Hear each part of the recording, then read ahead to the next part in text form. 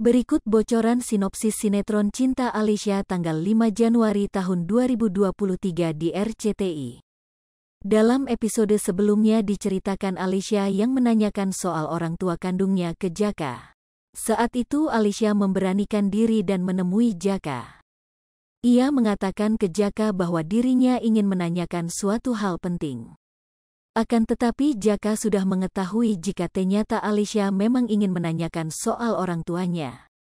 Jaka lantas mengatakan bahwa dirinya merupakan ayah kandung dari Alicia. Bahkan ia menunjukkan buku nikahnya dengan Rani beberapa tahun silam.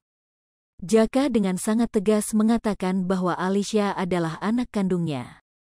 Selain itu Jaka sampai menangis saat menceritakan hal tersebut kepada Alicia. Alicia yang mendengar pengakuan Jaka hanya dapat menangis percaya. Sebab ia tak mengetahui jika Jaka hanya berbohong kepada dirinya. Pada episode kali ini Cinta Alicia menceritakan Alicia yang kecewa setelah dibohongi Jaka.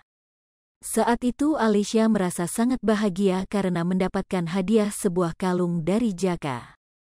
Namun Alicia tiba-tiba menyembunyikan kalung tersebut karena nenek Masitoh datang.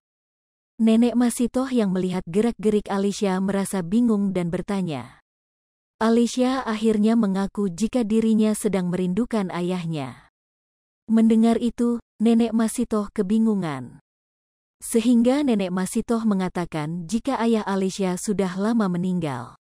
Alicia kemudian marah dan tak percaya dengan kata dari Nenek Masitoh. Sebab Alicia sudah percaya dengan semua kebohongan Jaka. Ia mengatakan jika ayahnya belum meninggal. Di sisi lain Jaka kembali meneror Rani. Jaka menyebut jika dirinya mengetahui di mana keberadaan Alicia dan nenek Masito. Rani yang mendengar itu merasa marah. Bahkan Rani meminta Jaka untuk tak mempermainkannya.